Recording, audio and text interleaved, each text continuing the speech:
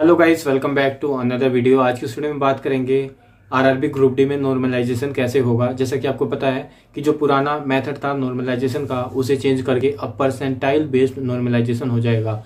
तो बहुत सारे स्टूडेंट का डाउट हो डाउट है कि इस बार नॉर्मलाइजेशन होगा ही नहीं। लेकिन ऐसा नहीं है। अगर आपके रो स्कोर मार्क जितने भी हैं, यानी कि जिसे एप्सलोट स्कोर कार्ड कहते हैं सपोज़ अगर आपके 65 आए और आपका शिफ्ट बहुत हार्ड है। और दूसरा जो शिफ्ट था, उसमें जो टॉपर स्टूडेंट था, उसके 80 मार्क्स हैं और थोड़ा पहले वाले से इजी है। और जो थर्ड शिफ्ट है, सबसे इजी आया, उसमें जो टॉपर स्टूडेंट था 90 आगे। तो इन तीनों का परसेंटाइल कितना होगा? जो टॉपर स्टूडेंट होगा, उसे 100 मान लिया जाता है कि उसका 100 परसेंटाइल है। यानी कि पैंसठ वाले के भी 100 हो गए और 80 वाले के भी 100 हो गए और 90 वाले के भी 100 हो गए।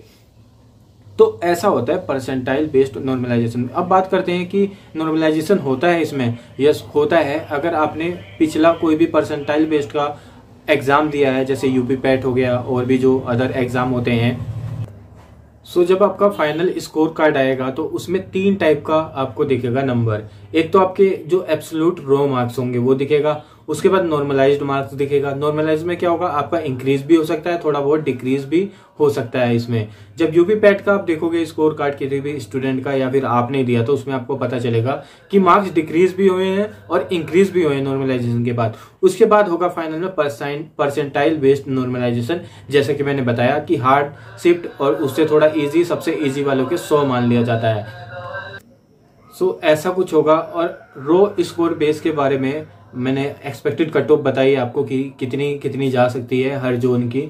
आप उसे जाकर देख भी सकते हो। सेपरेट मैंने कम से कम चार से पाँच वीडियो प्रोवाइड कर दी है, जिसमें मैंने लगभग चार से पाँच जोन का मैंने बताया और डेटा भी बिल्कुल ऑफिशियल दिया है कि पर सीट कंपटीशन कितना है और जब अभी 45 परसेंट अटेंडेंस है तो उसके अकॉर्डिंग पर सीट कंपटीशन कितना होगा और फ़िज़िकल एफिशिएंसी टेस्ट के लिए एक सीट पे कितने लोगों को बुलाया जाएगा, उतना और उसमें कितना कंपटीशन है। तो आप जाकर देख भी सकते हो। और लास्ट वीडियो में जो मैंने ईस्टर्न रेलवे कोलकाता का कट ऑफ़ बताया, उसमें नॉर्मलाइज परसेंटाइल बेस्ड जो नॉर्मलाइजेशन होगा, उसके बारे में भी एक्सप्लेन किया है। तो वहाँ से आपको थोड़ा बहुत आइडिया लग जाएगा। अगर हम ओवरऑल कट ऑफ़ की बात करें तो लगभग मैंने जो अभी तक एनालिसिस किया है तो ज़्यादा से ज़्यादा 55 तक जा रहा था, जो भी कट ऑफ़ मार्क्स होगा आपका रो स्कोर बेस पे। मैंने नॉर्मलाइजेशन की बात नहीं कही है उसमें। जो रो स्कोर कार्ड है आपका, उसके अकॉर्डिंग मैंने बात की है और उसमें बताया भी है मैंने कि अगर आपका ज़्यादा ही डिफ़िकल्ट है तो थोड़ा बहुत कम भी जा सकता है। जैसा कि आपको पता है कि इस बार पेपर की डिफिकल्टी लेवल पहले से कितनी आई है तो पहले से कंपेयर करना तो सही नहीं है। लेकिन आपको उसमें भी मैंने बता दिया कि पहले कट ऑफ़ कितनी गई थी पर सीट कंपटीशन कितना था टोटल फॉर्म फिलअप फिलअप कितने हुए थे, और इस बार यही चीज़ें, चीज़ें कितनी है कि मतलब पर सीट कितना कंपटीशन है टोटल फॉर्म फिलअप कितने हुए हैं। तो मैंने जोन वाइज बनाया है, चार से पाँच वीडियो तो वहाँ से आपको थोड़ा बहुत आइडिया लग जाएगा। सो आप उसे जाकर देख सकते हो। सो आज की वीडियो में इतना ही। थैंक यू गाइस मिलते हैं किसी नेक्स्ट वीडियो में।